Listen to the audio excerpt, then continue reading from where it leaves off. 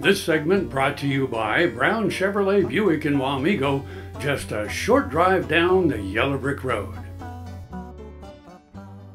Good morning. It's Wednesday. I'm Frank. I'm Deb. And it's around Kansas. It's uh, where, where, you get news about people, places, and things that just make this state a great place to live and to come visit. Well, news is kind of a maybe a misleading word. maybe a, a information would be accurate, but news, um, we're not as serious as the news. You know, the oh. news is boring, but no, we're fun, aren't we, Frank? Yes. We have a good time. So we're a lot more fun than the news about people, places, and things. So edit that news. You know, yeah, so. edit the news. Take yeah. that news out. Okay. We're just all about fun stuff. and speaking of fun stuff, and I guess this actually would be news because this is a, a coming event. Um, Got to get over to Abilene first weekend in September. You know, Labor Day weekend. Is there anything that's not happening Labor Day weekend? But this is a really big deal. 150th celebration of the Chisholm Trail. So the Chisholm Trail, of course, where would Kansas history be without the Chisholm Trail? So our good friend um, Ron is going to be over there, our poet laureate, and just lots of good friends that'll be in Abilene for this celebration and lots of great events. And, you know, 2016, 2015 marked the 150th anniversary of a lot of things. 2016, lots of anniversaries. 2017, folks, get ready for next year because I'm involved in planning several events myself. 20 17 will mark the 150th anniversary of more than 30 Kansas counties. Hmm. So basically, think everything west of Salina started really getting organized and settled in 1867, you know, after the Civil War, and, you know, all the guys are headed west, and you've got the, the cattle trails, which the Chisholm Trail, of course, is a big piece of, and all this stuff. So there are going to be so many anniversaries next year.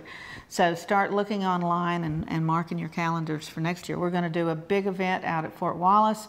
Fort Hays will be marking its 150th anniversary. So you'll want to be there for that. The Kidder Massacre, 150 years. The Medicine Lodge Peace Treaty, it was 150 years. The Hancock Expedition. So, so many of the things that make Kansas interesting happened in 1867. It's like the third of the, the big years, you know, 1854, 1861, and then there's 1867.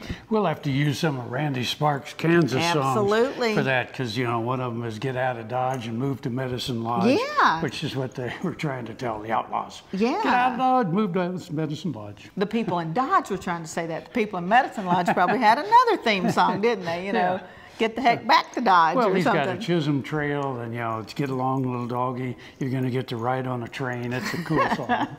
so, so, we got theme music for everything, don't we? Yeah. Thanks to Randy Well, and of course the God song Abilene, Abilene. That's right. came out. Yeah, I was a disc jockey on KSAL in Salina when that song came out, and of course everybody in Abilene, Kansas thought it was about Abilene, Kansas, Texas. No, it's really about Abilene, Texas stole it, but it was written about Abilene, Kansas. So no, Abilene, Kansas has the fair claim to that song. Uh-oh. Yes. Hey, that's going to be a story. That will be a story. That's right. We got lots of good stuff, so stay with us.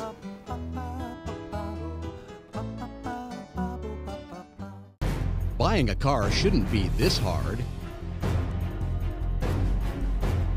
And at Brown Chevrolet Buick in Wamego, it isn't. It's actually awesome. Whether you want a new or used car or truck, Toby's team can make the deal. Even if you want to custom order a new car or truck, Toby's team can make the deal. See Toby's team at Brown Chevrolet Buick in Wamego. We're awesome.